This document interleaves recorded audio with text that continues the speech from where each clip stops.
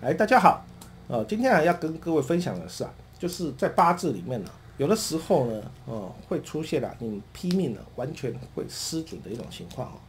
呃，其实并不是说完全失准，而是说啊，它的这个过程当中呢，它可能转换跑道了，而你而不知道啊。因为啊，在古代的时候，转换跑道是一件很难的事哦。你爸爸假如是种田的，可能到你你就是种田的哦，就是这样子。一辈子啊，都是就这样子代代相传。那你只要当官的，哎，你的你的下一代的呢，就可能是当官的。因为古代呢，他要转换呢，这个社会位阶很难很难。可是呢，你你讲到现在呢，说真的，你说要转换这个社会的一个位阶，非常非常简单哦。为什么？啊，老子不干了，我来去做业务行不行？那对不对？那业务不干了，我来去找工作行不行？当然可以啊。也就是说，现在呢，你的那个。职位上的转换跟古人来比的话，他是怎样轻松很多哈？不像古人要换的职业有够难的难哦。那在这种情况下的时候啊，在这种情况下的时候，所以我像我有学生呢，他就这样子在帮，他就照着八字去批的时候，结果啊，对方呢就跟他讲，哎，没有这一年哦，我赚的特别多钱哦。那结果他去。询问了以后，他才知道，就是说，哎，虽然在八字里面这一年的财星呢并不旺，可是呢，他转换跑道了，他转换跑道了。哦，原来呢，他是在工作的，他变成是什么？他跑去做生意。可是他的财星虽然不旺，可是呢，各位你就要了解，工作跟做生意，哦。它就是一个标准的什么位阶的一种转换，位阶的一种转换。所以当一旦呢，它位阶一转换的时候，各位我们所看的食神就不一样啊。一般呢，假如是工作的话，我们就看官哦。那这一边我们会看食神，还有财这两颗哦。所以啊，各位你就很有可能有的时候啊，在某几年你会完全看它不准的原因，就是因为啊。它的一个位置位阶，它去做了一个转换，就很像呢。我在啊乙未年的时候，我做了一个位阶转换，所以乙未年呢是我的一个状况的一个完全不一样的状况啊。呃，从加油员变成呢是一个命理师，那收入基本上是完全不一样。可是我的八字是没有改变的，好，我的八字是没有改变的。但因为呢所看的东西就不一样了，所以你就要了解说位阶啊。它会影响，这个就是工作上，这只是单单工作上的一个位阶，它就会影响呢。你要看的时神的不一样，那所以呢，有的时候啊，你就要去注意说，它是不是在工作上的一个转换导哦所导致的，这是第一种。那第二种位阶呢？第二种位阶啊，就是真的他的生活环境啊，相同八字为什么不同命？相同八字不同命的原因，就是因为他生活环境所造成的观念是不一样的，所以呢，他的观念不一样的一个情况下，再加上他的生活环境是不一样的，所以呢，虽然他们两个八字是一样，可是呢，他们呢，面对事情，他们所做的选择都会不一样。好，各位你要了解啊，同样叫财破印，同样叫财破印，之前的。哦，一个来，他是三家公司的顾问，他跟我讲说他才，那他是三家公司顾问，我看他八字财破印，来讲，他就跟我讲，老师这一年，你帮我看一下，哦，财破印了，那你应该是啊，信用危机，他就说对，他帮公司做保，一年公司发生财产那个资金的一个危机，结果呢，他就呢，因为刚帮公司做保，一年他就负债一亿了。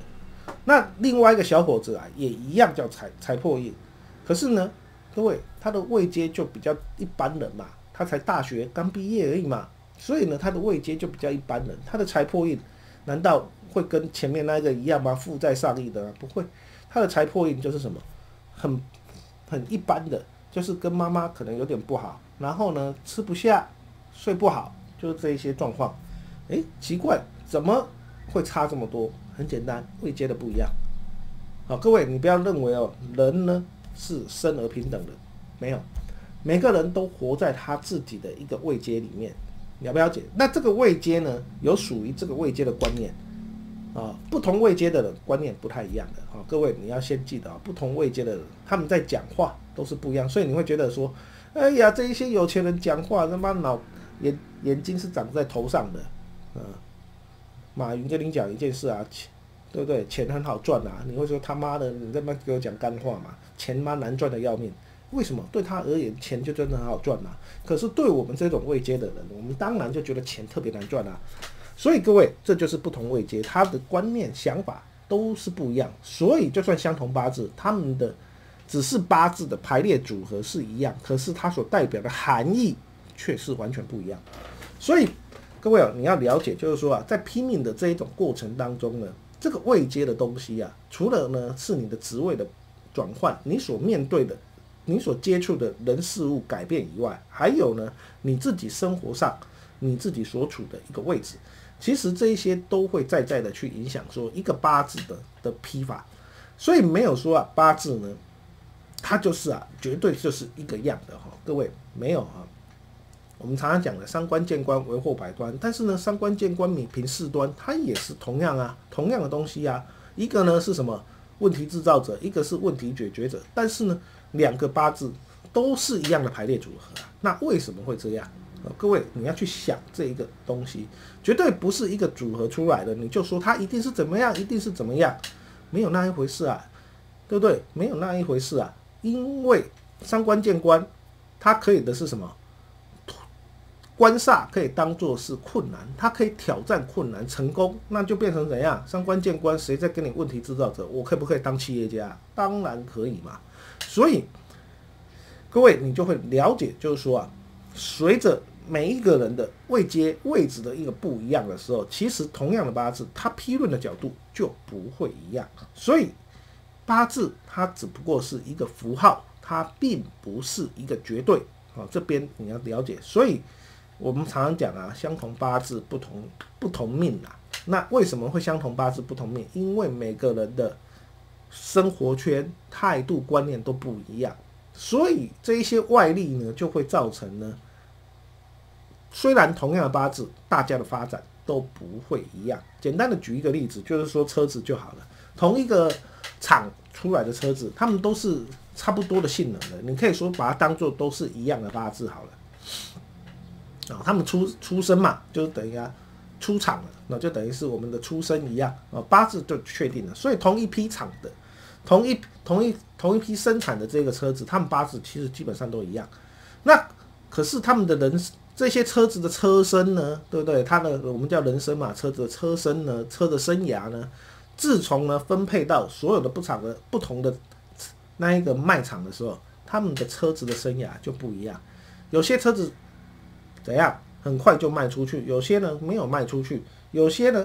他卖出去了，他说他碰到了一个很好的主人哦，帮他呢维护的很好，十几年以后看起来还跟新的一样。可是呢，有些车主呢根本就跟没有在保养，可能车子用一用，两年以后就爆掉了哦。那还有呢，开车出去直接就把它撞到了。所以啊，各位这些这一批车子，同样时间生产的车子，十年以后你来看，他们会有两部一模一样的状况的吗？当然不会啊。这个甚至，呃，有的已经报废了，有的维护的很好，有的还妈的根本都没卖出去过。反正每一台车的状况都会不太一样。那各位，这不就是八字吗？八字它只不过是说时间而已嘛，时间出来以后，你们会有相类似的性能而已嘛。可是相类似的性能，这一些车子有相类似的性能，可是他们的遭遇就是外在环境都不一样。所以造造成车子到最后，每一台车子的状况都不一样，啊，每一台车子的状况都不一样。同样的，那就是我们人的一个写照。我们八字一样，只不过是说，哎，我们出生的时间一样，就跟车子出厂的时间是一样。那我们有相同的本质，没有错。可是呢，我们的家境不一样，我们所生活的领域不一样，我们所受的教育不一样。所以说呢。二十年、三十年以后，就是一个不一样的个体，所以绝对啊，不是说啊八字决定你会怎么样，八字只不过是让你出生的时候有什么性能而已。可是这个性能呢，你要去掌握啊，甚至啊，对不对？哦，怎样？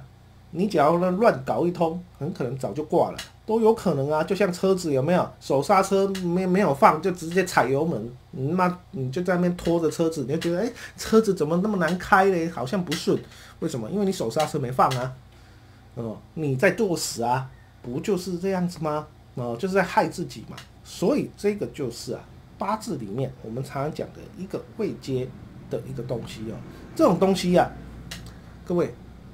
很难说，但是呢，只要这样子一讲的时候，我相信大多数的人都会了解哦。原来八字它只代表的是一个时间上对我的一个影响而已，啊，那其实还有众多的因素都会影响到我本身的一个发展。所以，当我们对八字就不用跟他讲说啊，我以后会大富大贵，看靠一个八字没有那一回事啊。八字只是给你一个机会而已。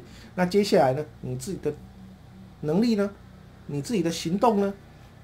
你要有相关的配套嘛？啊，你以为你有一个好八字，天天坐在荧幕前面，然后就就什么事都不做，你就会大富大贵吗？你想太多了嘛，那不可能的事嘛。所以还是要有行动，还是要有所能力哦，再配合一个好的一个运程，你成功的机会才会比较大嘛。所以各位哦，不要把八字当做是一个绝对当中，它包它只不过给你的是一个。